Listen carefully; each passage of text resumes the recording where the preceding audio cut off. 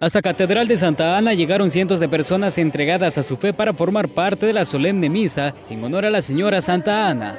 Esta misa fue dirigida por el cardenal Gregorio Rosa Chávez, quien dijo sentirse satisfecho por ver la devoción del pueblo católico del país. Es un día hermoso para todo el país, todo el mundo en sintonía con esta catedral. Una fecha cada año tan querida. Hoy pues, yo pude presidir, poder predicar acá fue un gran honor para mí recordar un poco una historia hermosa desde el año 2013, 1913 cuando se creó esta diócesis junto con San Miguel. Estoy muy contento de la experiencia que hoy hemos vivido. Desde niños, jóvenes, adultos y personas de la tercera edad asistieron para dar gracias a la señora Santa Ana por todas las bendiciones que han recibido. Ellos se comprometen aún más en continuar con esta tradición característica de la ciudad morena.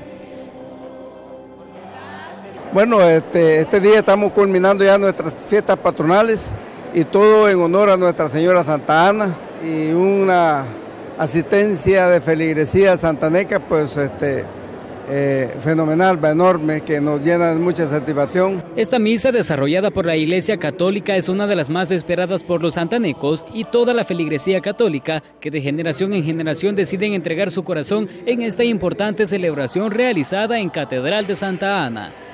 Imagino que ha estado involucrando a sus pequeños también. Ah, claro, mis hijos sí. Lo único que ellos no están conmigo, pero siempre ellos son devotos de ella. Siempre la buscan donde quiera que esté la Virgencita. El pueblo católico espera continuar manteniendo viva esta tradición para que más personas decidan involucrarse en cada una de las actividades que se desarrollan en el marco de las fiestas patronales en honor a la Señora Santa Ana. Con imágenes de Miguel González y Juan Celada, este es un informe de Edgar García para Punto Noticias.